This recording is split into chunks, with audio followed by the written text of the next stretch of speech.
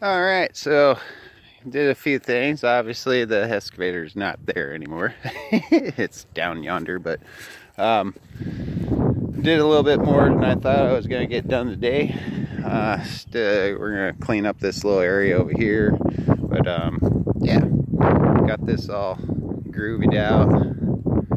Yep, got it all nice and and uh, cleaned up a little bit, and I can start cutting in where the foundation's going to go uh, to bring in some pit run. Uh, years ago, I had a bunch of pit run in here, this whole area around here, and um,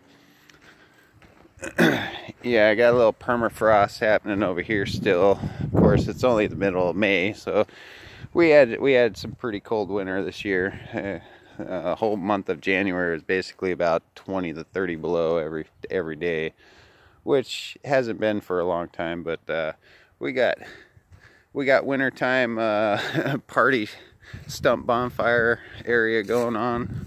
Just coming around the back side of the car, uh, steam house here. And, you know, I got form boards and stuff for piling up. But, yeah, just cleaning up around here. Getting her. What's up, baby? yeah poor cabin really took a dilapidation between the ants uh, over the years, past four years, and snow load this year, but uh, we'll get her all fixed up.